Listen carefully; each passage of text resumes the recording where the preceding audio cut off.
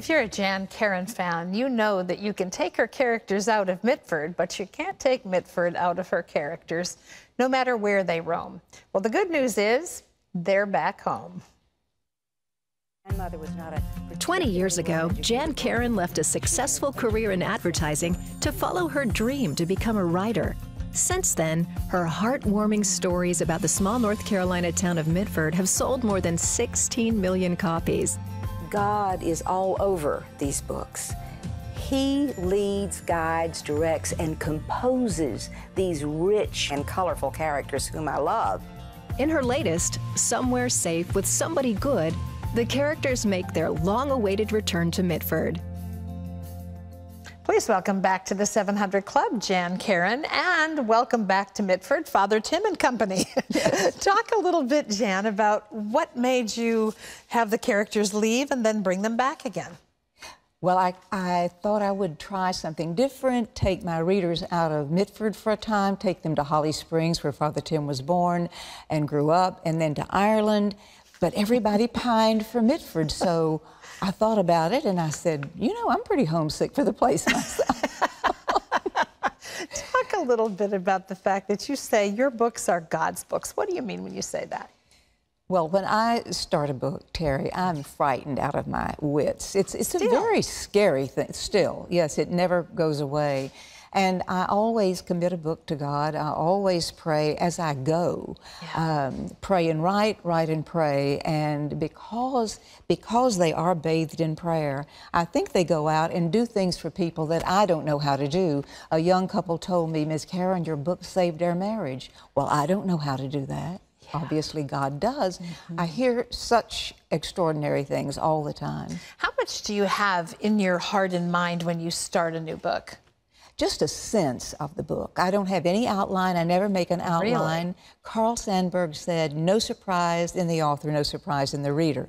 so I love being surprised. That's You were a very successful um, advertising executive, and out of that came this writing career. That's quite a quantum leap. How did you move from one to the other? Well, I hate to say this, but you know, advertising is pretty much fiction. No, just kidding. sort of cut my we teeth. probably agree with you on that. it, it, taught me a lot. It taught me uh, discipline, for one thing. You must be pretty disciplined to sit down and go through mm -hmm. a book for two or three years. Yeah. I was surprised as I was reading over your um, bio and just things that you had shared in the past that you really questioned yourself whether the characters that you felt God had given you would be of interest to anybody, uh, especially Father Tim. Talk a little bit about that. Well, I, I, thought I would have a small reading audience, you know, a narrow slice a of the pie, a niche, yeah, a niche book. And, and I, as I wrote, though, and as people started to read my work, I realized how hungry the reading audience is just for a safe book, a yeah. clean book, a writer they could trust, not to confront them with something they didn't want to deal with. I mean, if you want that kind of read, it's out there. Yes. Um, yeah. yeah. Uh, have you always had the gift to write? I mean, even when you were working in advertising, did you know you were a gifted writer? Yes, I was a writer in advertising. So that was your passion and your yes. job. I wrote my first novel at the age of 10. It was about 14 pages long. that works for a 10 year old. But your writing flows. There's a really easy, natural uh, flow for someone who's reading it. I mean, it just sweeps you in before you realize how far you've gone. Mm. I think the ear has a lot to do with it, mm -hmm. Terry. I want to hear some kind of music. I think the title, for example, Somewhere Safe with Somebody Good, it has a flow to it. Mm -hmm. Even if you change it to say Somewhere Safe with Someone Good, it doesn't work. Right. There is a rhythm so I to use my ear it. yeah. And, uh, you know, I was thinking as I read through it and looked at it for the first time that it's also, I guess, the hope of everybody, isn't it? To, it is. to live in a Mitford, to be somewhere yeah. safe with somebody good. Yeah. Who's your favorite character? Is it I, Father Tim? I, I, you know, I, I, love them all. I love them all uh, unconditionally. And Miss Rose, I was very fond of her. Uncle Billy, I adored him. He had to pass.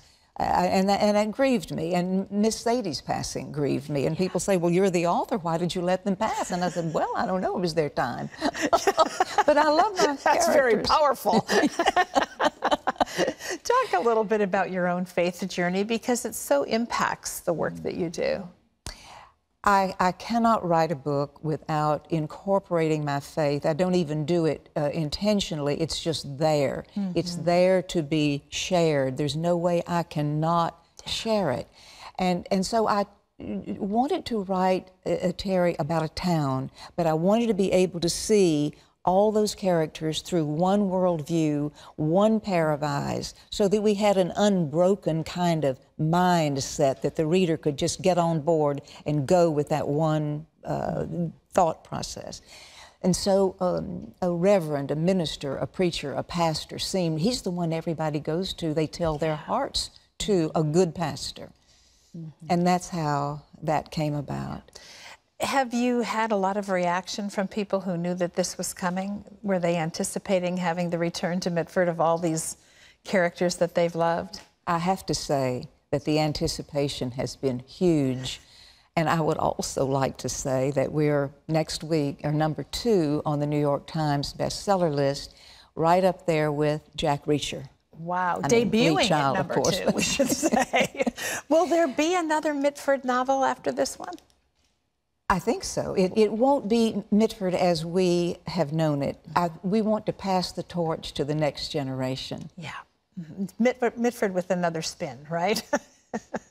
well, they did a beautiful job on this. I mean, the cover is lovely. The, the story is fascinating, and you are pulled in by your wonderful writing. And I just want to say uh, that Jan's novel is called Somewhere Safe with Somebody Good, and it's available wherever books are sold.